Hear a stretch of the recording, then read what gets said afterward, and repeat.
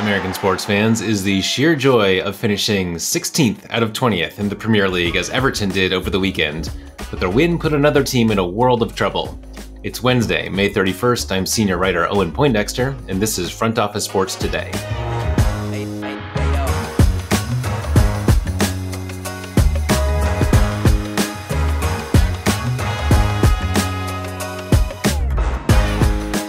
Congratulations to Manchester City, who beat out Arsenal to win the Premier League.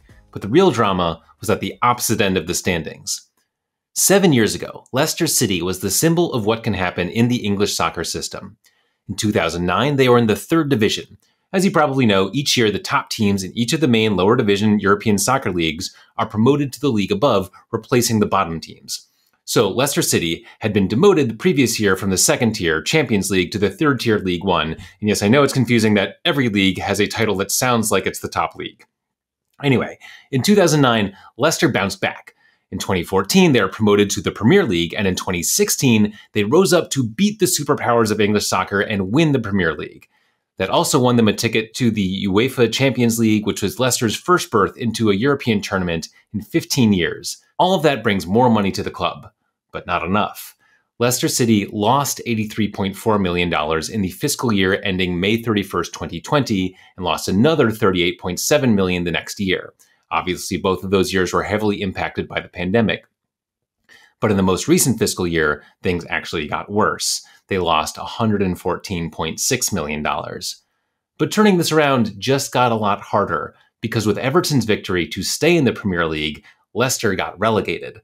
That's a real problem for their bottom line because over the last five years, the team got between 70 and 82% of its revenue from broadcast money, which comes primarily from their share of the Premier League's media deals, which total $13 billion over three years or around 4.3 billion annually. That's around 20 times what the lower tiers make combined. The financial cost of getting relegated is only increasing as the Premier League grows in popularity. And of course, Leicester is only one of three teams relegated from the Premier League, and the second may affect a U.S. football team.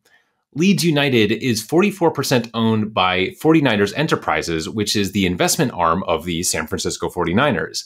The team has a deal in place to buy the rest of the club from current owner Andrea Radrizzani for around 620 million, but now they have to figure out a new price because Leeds was just relegated as well.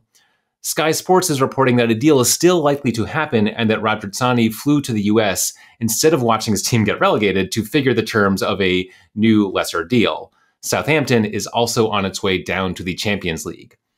But for every relegation, there is a promotion, and Burnley, Sheffield United, and Luton Town are on the way up. Luton Town is over 100 years old. They play in a stadium that is right in the middle of a residential neighborhood, and they have just become the next symbol of how any club can, in theory, rise to the top in UK soccer. Just 10 years ago, they were in the fifth tier in the English soccer pyramid. With their victory last weekend over Coventry, they are back in the Premier League after a 30 year hiatus.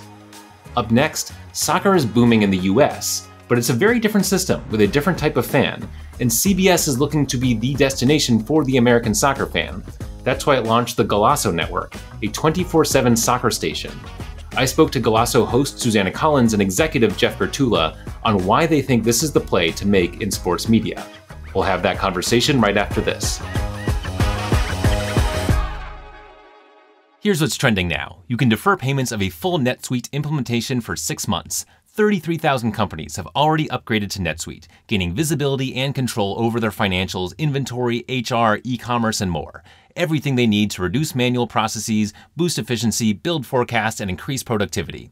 Whether your business generates millions or hundreds of millions of dollars, take advantage of this special financing offer of no payments or interest for six months at netsuite.com slash front office.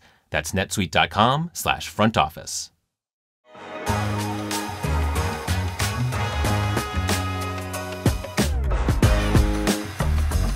All right, I am joined now by Jeff Gertulla, Executive Vice President of CBS Sports News and Stations, and Susannah Collins, host of Morning Footy on the Golazo Network. Welcome, Susannah and Jeff. Thanks for having us. Yeah, thanks for having us. So the Golazo Network just launched in April, correct? And it's a 24-7 soccer network um, streamed through CBS.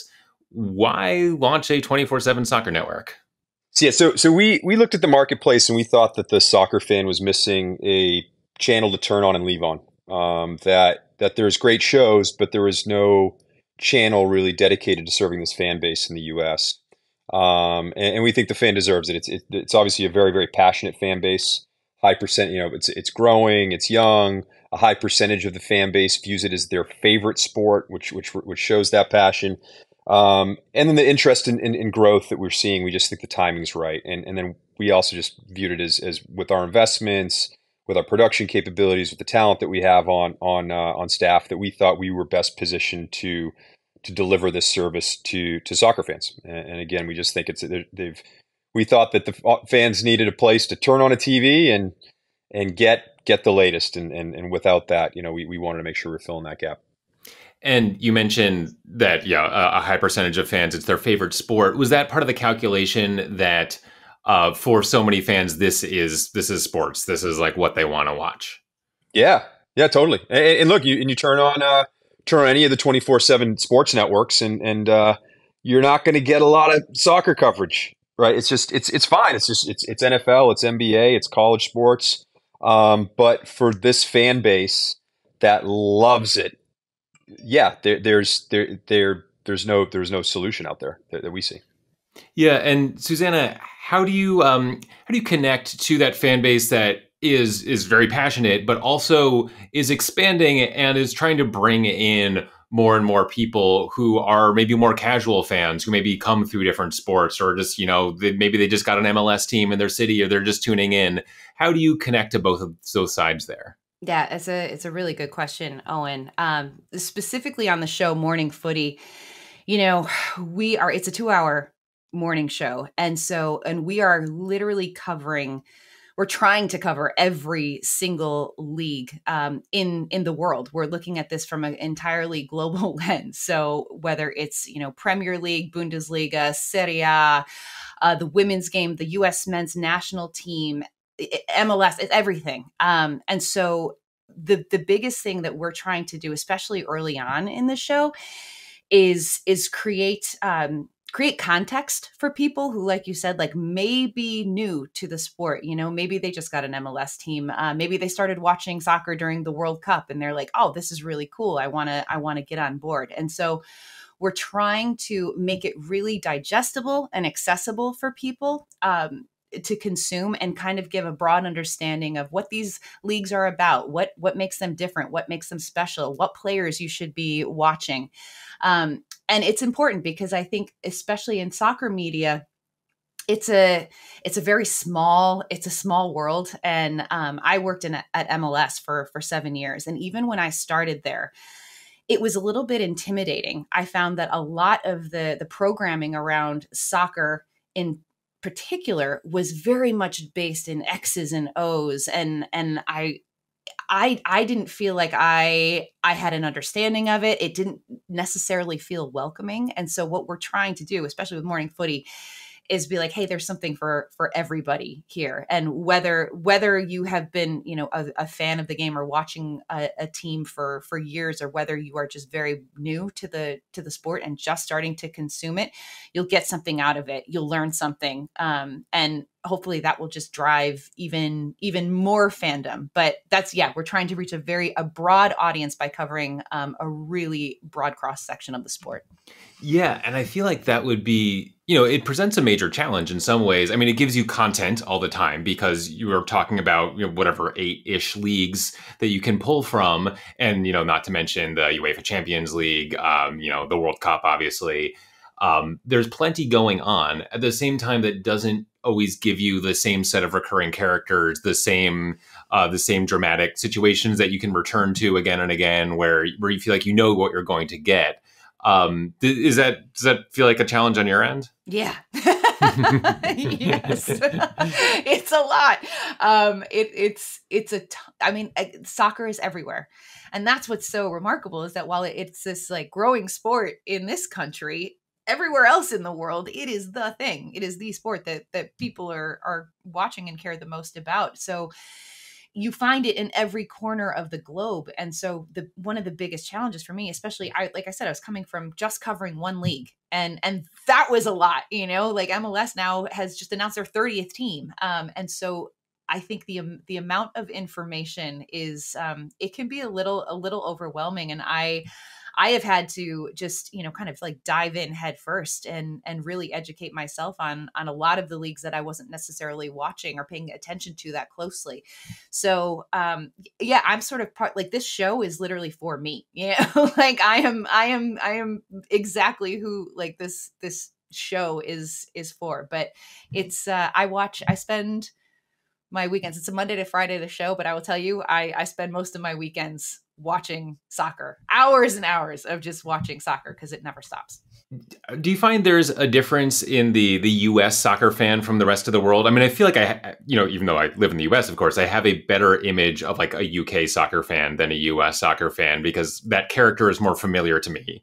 Um, so yeah, is it a different type of fan, or is it just they live here instead of there? Oh, it's very different. Um, so the the defining characteristic of the U.S. soccer fan is they're a lot younger.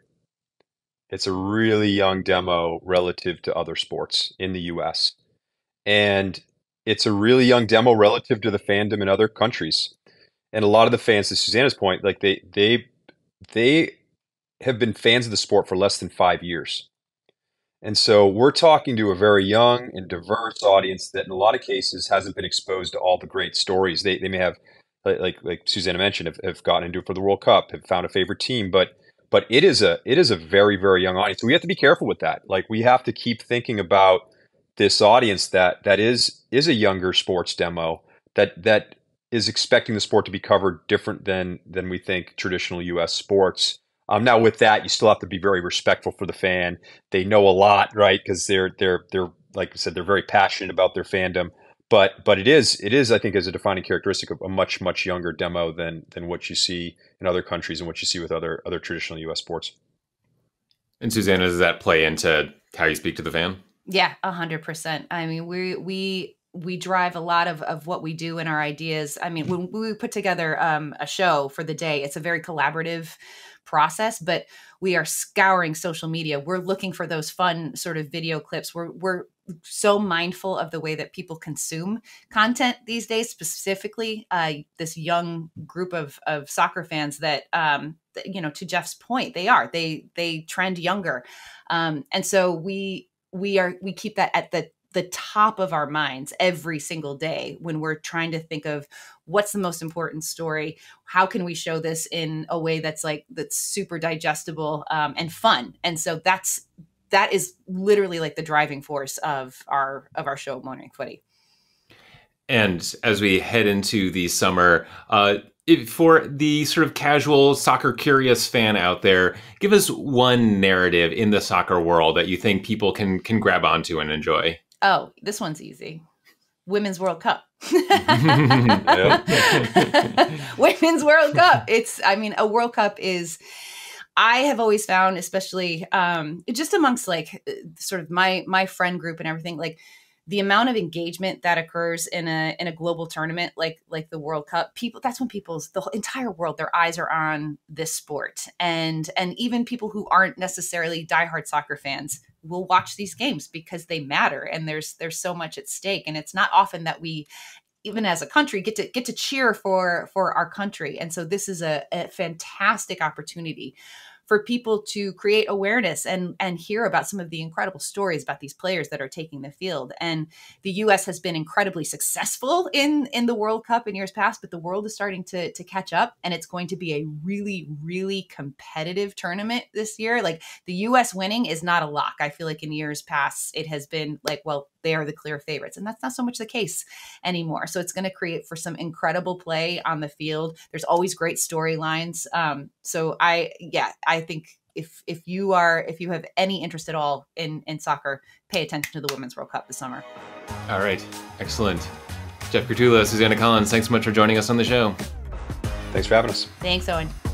That's it for today. If you're enjoying the show, rate us, review us, share an episode with a friend. We have a lot of great stuff and fun guests on the horizon.